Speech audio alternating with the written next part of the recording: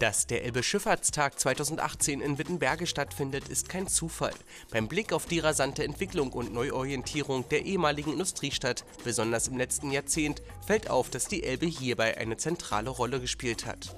Und das betrifft fast alle Aspekte des Lebens in und an der Elbestadt.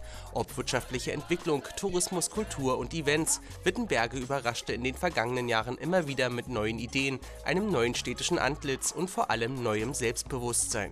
Direkt am Ufer Ufer der Elbe. Also die Elbe hat eigentlich für die Stadtentwicklung so drei Rollen. Das erste ist äh, die Wirtschaft, das zweite der Tourismus und das dritte das Wohnen äh, hier an der Elbe. Für die Wirtschaft ganz klar, die Elbe ist immer schon ein äh, Schifffahrtsweg gewesen. Deswegen haben wir ja auch unseren Industriehafen ausgebaut als Logistikpunkt für Bahn und für Wasser und auch für die Straße.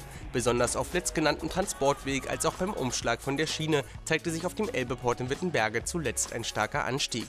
So gelangte der trimodale Umschlagplatz für Wasser, Schiene und Straße zuletzt an seine Kapazitätsgrenzen. Ein Beweis für die hohe Nachfrage und dass die millionenschwere Investition, die in Wittenberge 2009 in Betrieb genommen wurde, die richtige Entscheidung war. Von der damaligen Schlüsselmaßnahme profitieren letztendlich nicht nur Wittenberge, sondern auch die weiteren Kommunen und Gemeinden des regionalen Wachstumskerns Prignitz. In Wittenberge selbst hat die Elbe noch weitere wichtige Bedeutung. Das zweite, der Tourismus, auch ganz klar, die alte Ölmühle, die sich hier als großer Tourismusstandort entwickelt und diese Elbuferpromenade hier macht ja deutlich, dass Wittenberge auch dieses Standbein Tourismus immer weiter entwickelt und dazu zählt in erster Linie natürlich die Lage an der Elbe. Denn damit präsentiert sich Wittenberge in jüngerer Vergangenheit von einer ganz neuen Seite.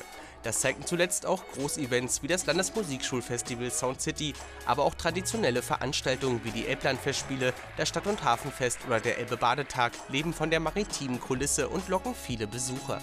Das gilt natürlich erst recht für den Brandenburg-Tag, der am 25. und 26. August in Wittenberge stattfindet und auch allgemein für das Leben der Bewohner von Wittenberge.